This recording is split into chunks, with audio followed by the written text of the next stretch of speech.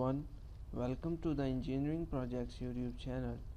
In this video tutorial we will discuss about foreground color of checkbox.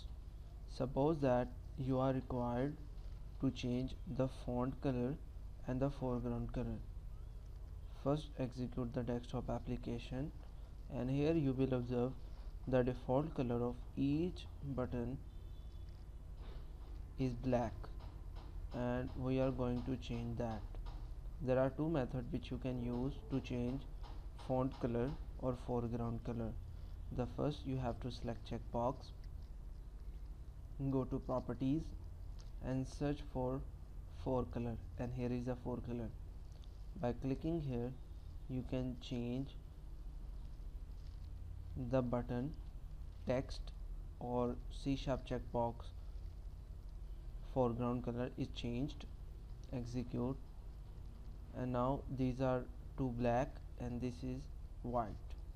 The second method to change the foreground color is from programmatically. First of all we will call the name of checkbox then dot fore color is equal color dot. The name of the color which you want to set such as floor green. Execute the application. And you will observe that the color is changed. Now we will do the same with checkbox 3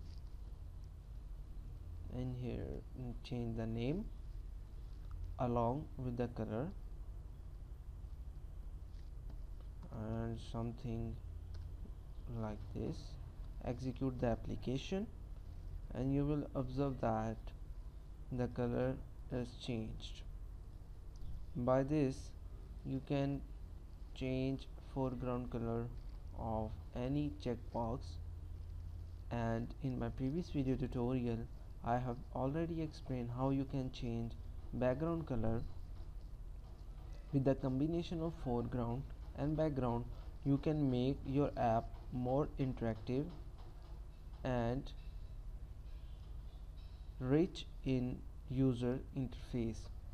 I hope this video tutorial is informative for you. If you still have any kind of question you can ask us and don't forget to subscribe our YouTube channel.